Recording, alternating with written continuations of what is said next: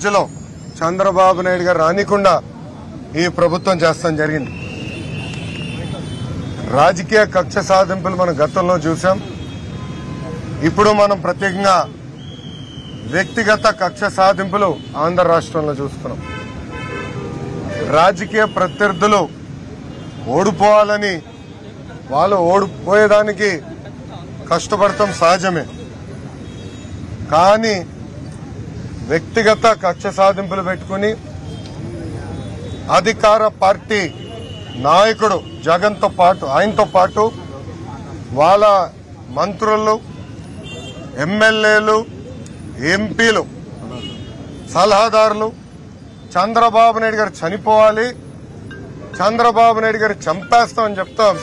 ఈరోజు ఆంధ్ర రాష్ట్రంలో ప్రజలందరూ కూడా చూస్తున్నారు. మొన్న వాళ్ళ ఎంపీ స్టేట్మెంట్ కూడా అనంతపూర్లో చూసాం. ఎగతాళి చేస్తారు. చంపేస్తామని చెప్తారు. జైల్లోనే చనిపోతారని కూడా చెప్తున్నారు. ఇంకో పక్కన కేసుకి ఎలాంటి సంబంధం లేని మా తల్లిని కూడా జైలుకు పంపిస్తామని వాళ్ళ పార్టీకి చెందిన మహిళా మంత్రి కూడా స్టేట్మెంట్ ఇస్తాం జరిగింది. నేను ఇప్పుడు అడుగుతున్నా. సవాల్ ఇస్తున్నా. యాభై రోజులుగా మీరు పీకిందేంటి? ఒక కొత్త ఆధారమైన ప్రజల ముందల పెట్టారా? స్కిల్ డెవలప్మెంట్లో కానీ ఇన్నర్ రింగ్ రోడ్లో కానీ ఫైబర్ గ్రిడ్లో కానీ చంద్రబాబు నాయుడు గారు కానివ్వండి వాళ్ళ కుటుంబ సభ్యులు కానివ్వండి మిత్రులు కానివ్వండి కంపెనీలు కానివ్వండి పార్టీ అకౌంట్ కూడా డబ్బులు వచ్చిందని యాభై రోజులుగా ఒక్క ఆధారం ఉన్న ఈ ప్రభుత్వం బయట పెట్టిందా అని ప్రజలందరిని ఆలోచించమంటారు ఇంతేకాదు skill development corporation chairperson Ajay Reddy నిన్న కాక మొన్న చాలా స్పష్టంగా అన్ని సెంటర్లు నడుస్తున్నాయి. ఎక్కడ ఒక్క సెంటర్ కూడా మూయలేదు అని చెప్తాం జరుగుతుంది మొదటి రోజు నుంచి చెప్తున్నాం. తెలుగుదేశం పార్టీ మా అధినేత చంద్రబాబు నాయుడు గారు ఏం తప్పు చేయలేదు. మేము తిప్పి అన్ని ఆధారాలు ప్రజల్లో పెట్టాం. మా అకౌంట్లు కూడా గత పది సంవత్సరాలుగా ప్రజల్లో పెట్టాం. ఆనాడే చెప్పా దీనికన్నా ఒక్క రూపాయి ఉన్నా ఒక్క గజం ఉన్నా ఈ ఆస్తులన్నీ వాళ్ళు తిరిగి రాసిస్తానని. యాభై రోజులుగా వీళ్ళు పీకింది పొడిచింది ఏందని సూతిగా ప్రభుత్వాన్ని నేను ప్రశ్నిస్తున్నా. ఈ రోజు కూడా సవాళ్ళు ఇస్తున్నా మీకు దమ్ము ధైర్యం ఉంటే ఆధారాలు ప్రజల ముందర పెట్టండి. అంతేగాని వ్యవస్థల్ని మేనేజ్ చేసి పదిహేను సంవత్సరాలు ముఖ్యమంత్రిగా పదిహేను సంవత్సరాలు ప్రతిపక్ష నేతగా పనిచేసిన వ్యక్తి ప్రజల్లోకి వెళ్ళకుండా ఈరోజు జైల్లో బంధిస్తాం.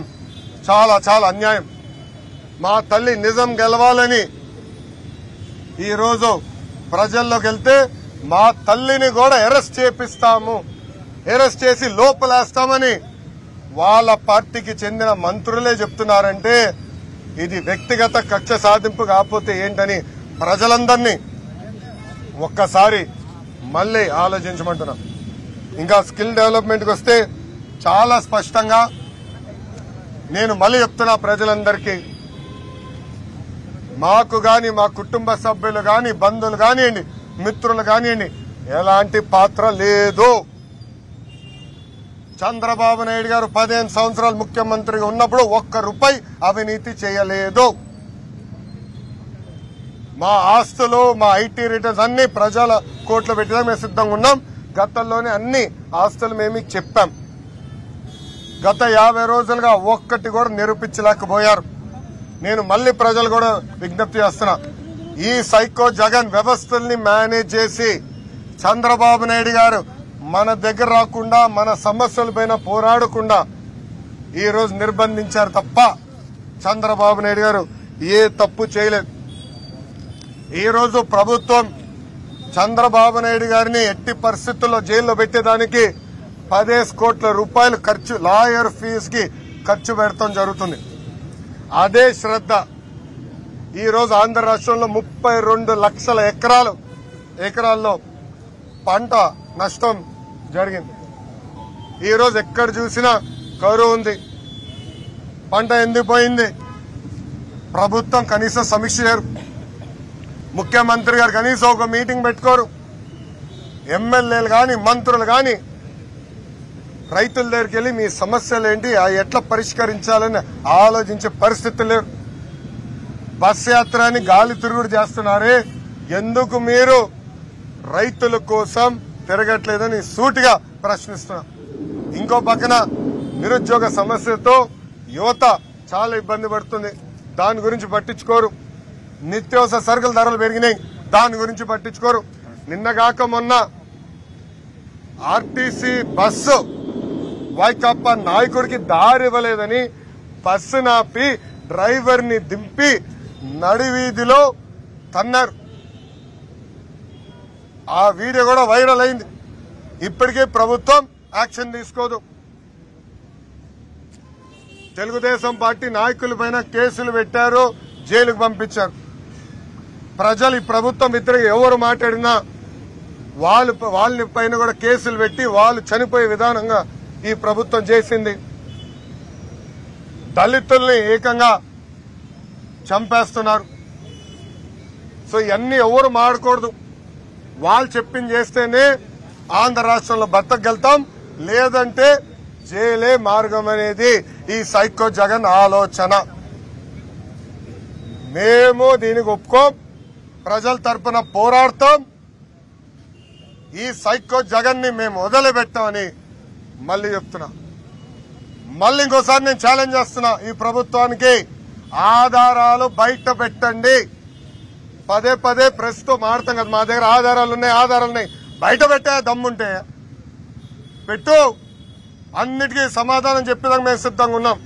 అంతేగాని అన్ని వ్యవస్థల్ని మేనేజ్ చేసి మా నాయకుడిని ఈరోజు బంధిస్తే మేము ఊరుకోం. న్యాయ పోరాటం చేస్తాం. ఇప్పటికీ సెవెంటీన్ ఏ పైన జడ్జ్మెంట్ రిజర్వ్ అయి ఉంది. రాబోయే వారం రెండు వారాల్లో ఈ జడ్జ్మెంట్ కూడా సుప్రీంకోర్టులో వస్తుందని మేమందరం ఆశిస్తున్నాం. ఇప్పుడు ఇప్పుడు మీడియా మిత్రులకి ప్రశ్న ఉంటే దానికి సమాధానం చెప్పారు